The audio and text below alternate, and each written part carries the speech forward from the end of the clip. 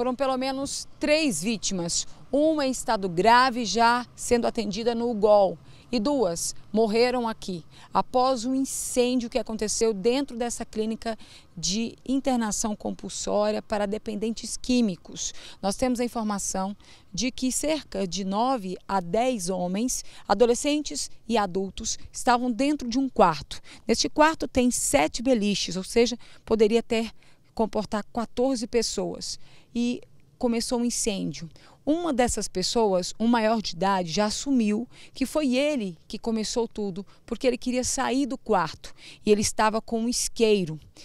Diante da, da fumaça e do fogo, um monitor abriu a porta e essas pessoas começaram a fugir. Mas dois não conseguiram, se esconderam no banheiro e morreram sufocados e queimados pelo calor. Uma entrou no compartimento do chuveiro, né, se fechou lá dentro a outra também no compartimento do banheiro, mas é, lateralmente a esse do chuveiro, onde ela também veio a óbito. E esse banheiro é, de, é referente a um dos quartos da clínica. A clínica que tem pelo menos dois quartos, né?